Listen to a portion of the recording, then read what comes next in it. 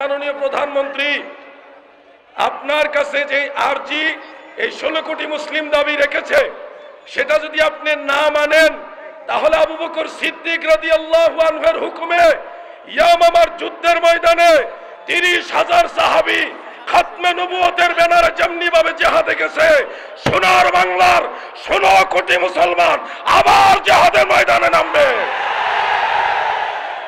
আমরা আমাদের দেশকে ভালোবাসি। আমরা বাংলাদেশকে ভালোবাসি, বাংলাদেশের শান্তি শৃঙ্খলাকে ভালোবাসি, বাংলাদেশের প্রশাসনকে সম্মান করি, আইনকে সম্মান করি। আমরা চাই না এই দেশের মধ্যে কোনো ধরনের অসুন্দর পরিবেশ তৈরি হোক, কিন্তু আল্লাহর হাবিবের খাতমা নবুয়তের ব্যাপারে গুরুত্ব দিয়ে কাদিয়ানিদেরকে যদি কাফের ঘোষণা না করা হয়, তাহলে এই দেশে যা হবার তাই হবে। আন্তরিক কৃতজ্ঞতা জানাচ্ছি। জৈনপুরী খানদানের সূর্য সন্তান, নারায়ণগঞ্জের গৌরব আহলে সুন্নাত ওল জামাতের বীর পুরুষ, আল্লামা সৈয়দ ডক্টর এনায়তুল আব্বাসী সাহেবকে, আল্লাহর হাবিব নবী সরকার দুজাহা আমাদের দয়াল নবীজি, তিনি শেষ নবী, সর্বশেষ নবী, এই বিষয়ের পক্ষে জোরালো এই বিশাল আয়োজনের আঞ্জাম দেওয়ার জন্যে পাশাপাশি আপনাদের খেদমতে ছোট্ট করে একটা কথা স্মরণ করাচ্ছি। এক জামাত, এক দল সাহাবাই কারাম আল্লাহর হাবিব থেকে একখানা হাদিস বয়ান করেছেন। আল্লাহর রসুল সাল্লাহ আলাইহি ওয়াসাল্লাম বলেছেন, আনা খাতামুন নবিয়িন লা এক দল সাহাবাই কারাম এই কথাটা আল্লাহ রসুলের কাছ থেকে বর্ণনা করেছেন। নবীজি বলেছেন, আমি শেষ নবী, আমার পরে কোনো নবী নেই। আমি শেষ নবী, আমার পরে কোনো নবী নেই। আমি শেষ নবী, আমার পরে কোনো নবী নেই। এই কথা যারা অস্বীকার করবে, আল্লাহর কোরআন এবং অসংখ্য সাহাবিদের কর্তৃক বর্ণিত এই হাদিসকে অস্বীকার করার কারণে নির্দ্বিধায় তারা কাফের হবে।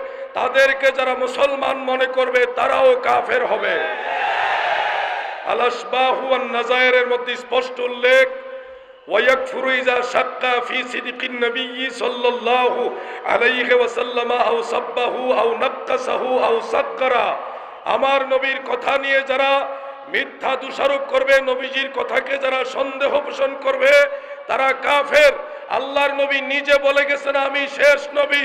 এই কথা যারা মানবে না, এই কথা যারা অস্বীকার করবে, তারা কাফের, এত কোনো সন্দেহ? আজকের এই সমাবেশ থেকে দেশরত্ন সফল রাষ্ট্রনায়ক মাদার অফ হিউম্যানিটি যিনি উপাধি পেয়েছেন, মাননীয় প্রধানমন্ত্রী, আপনার কাছে বিনয়ের সাথে আর্জি পেশ করছি। আপনি একজন মুসলিম। আপনি আমার নবীর উম্মত। আমাদের নবীকে শেষ নবী না মানলে আমাদের যেমন খারাপ লাগে, আমি আশা করি আপনারও তেমন খারাপ লাগবে। হাজার বছরের শ্রেষ্ঠ বাঙালি, যার এক হুঙ্কার উনিশশো একাত্তর সালে এবারের সংগ্রাম, স্বাধীনতার সংগ্রাম এই এক হুঙ্কারে সাত কোটি বাঙালির মনে স্বাধীনতার চেতনা জাগ্রত হয়েছিল। সেই বঙ্গবন্ধুকে কেউ যদি বঙ্গবন্ধু না মনে করে, না মানে এটা যেমন মাননীয় প্রধানমন্ত্রীর খারাপ লাগবে, আমাদেরও খারাপ লাগবে, আমাদের দয়াল নবীকে যারা শেষ নবী মানবে না, সারা পৃথিবীর সমস্ত মুসলমানের খারাপ লাগে। যদি মাননীয় প্রধানমন্ত্রী ষোলো কোটি মুসলিম নয়, সারা ওয়ার্ল্ডের সমস্ত মুসলমানের দাবি, আমাদের নবী শেষ নবী, এই দাবি যারা মানবে না, আমাদের নবীকে শেষ নবী যারা মানবে না, এই গুলাম শয়তান, এই কাদিয়ানের কুখ্যাত শয়তানকে কাফের যারা মানবে না, তারাও কাফের হবে। মাননীয় প্রধানমন্ত্রী, আপনি এই দেশের প্রধানমন্ত্রী আপনি ষোলো কোটি মুসলমানের প্রধানমন্ত্রী, আপনার উপরে আল্লাহ তালা দয়া করে এই দেশের মানুষকে পরিচালনা করার একটা পবিত্র দায়িত্ব দিয়েছেন। সেই দায়িত্বর আসন থেকে আল্লাহর হাবিবের পক্ষে এই কাদিয়ানিদেরকে রাষ্ট্রীয় পর্যায়ে কাফের ঘোষণা করে দেন।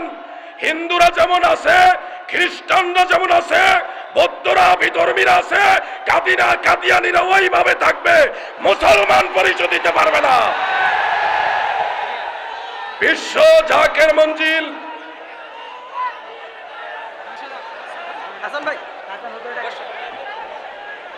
যেটা বলছিলাম বিশ্ব জাকের মঞ্জিল পাক দরবার শরীফের পক্ষ থেকে আল্লামা ডক্টর এনায়তুল আব্বাসী সাহেবের সাথে এই খাতমে নবুয়তের আন্দোলনের সাথে শতভাগ একাত্মতা ঘোষণা করছি যে কোনো সময় এই খাতমে নবুয়তের ব্যানারে আল্লামা এনায়তুল আব্বাসী সাহেবের সাথে বিশ্ব জাকের মঞ্জিল আছে, থাকবে।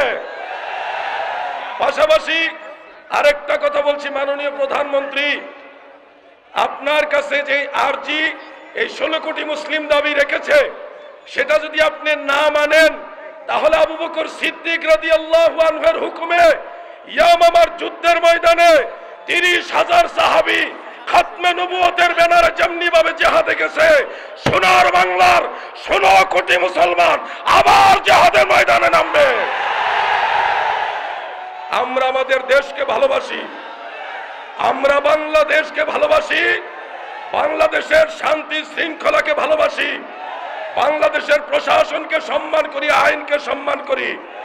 আমরা চাই না এই দেশের মধ্যে কোনো ধরনের অসুন্দর পরিবেশ তৈরি হোক। কিন্তু আল্লাহর হাবিবের খাতমা নবুয়তের ব্যাপারে গুরুত্ব দিয়ে কাদিয়ানিদেরকে যদি কাফের ঘোষণা না করা হয়, তাহলে এই দেশে যা হবার তাই হবে। আল্লাহর হাবিবের মহব্বতে ষোলো কোটি মুসলমান ময়দানে নামবে। তখন মুসলমানদের উপরে কোনো দায় দেওয়া যাবে না। বারবার আমরা দাবি করছি। উনিশশো আশি সাল থেকে পঁচাশি সাল পর্যন্ত বিশ্ব জাকের মঞ্জিলের ওলামাই কারাম, বিশেষ করে আল্লামা মুফতি আবু নাসির জিহাদি সাহেব এই খতমে ব্যাপারে কথা বলেছিলেন, আন্দোলন করেছিলেন। শেষ কথা আমার এটা, ডক্টর এনায়তুল আব্বাসী সাহেব, তিনাকে আমরা মানি, শ্রদ্ধা করি, মানব। সুন্নিয়তের পক্ষের একজন বীর সৈনিক আল্লামা আব্বাসী সাহেব সুন্নিয়তের ময়দানে আব্বাসী সাহেবের যেমন দরকার, সৈয়দ হাসান আজহারি সাহেবের তেমন দরকার গিয়াসুদ্দিন তাহিরির তেমন দরকার, সমস্ত সুন্নি আলেমদের দরকার। অতএব শেখ নুরুল ইসলাম ফারুকি রহমতুল্লাহ আলাইহের সেই কথা মনে রাখবেন, পীর যার যার সুন্নিয়ত সভা আমরা কোন ওয়াহাবি, নজদির নেতৃত্বে খতম নবুয়ত আমরা আন্দোলন করব না। নবীর সেনাকের ওয়াহাবিরা মূলতই গুস্তাকের আসুন তাদেরকে আমরা বিশ্বাস করি না। আব্বাসী সাহেব, আপনি সামনে আসেন। নবীর সেনারা সামনে আসেন। তাহিরি সাহেব, হাসান আজহারি সাহেব, আব্বাসী সাহেব, সন্নি নেতারা সামনে আসক। বুকের তাজা রক্ত দিয়ে সন্নিয়ত প্রতিষ্ঠা করব। এজন্যে আপনাদের খেদমতে এই উদাত্ত আহ্বান রাখছি। ঐক্যবদ্ধ থাকবেন মিলেমিশে থাকবেন। আল্লাহ তালা আমাদের সবাইকে মদিনাওয়ালার এই খাতমে নবুয়তের পক্ষে থাকার তৌফিক দেন। আমিন। আসসালামু আলাইকুম রহমতুল্লাহি বারাকাত সত্যের সন্ধানে সব সময় সবখানে কাজী টিভি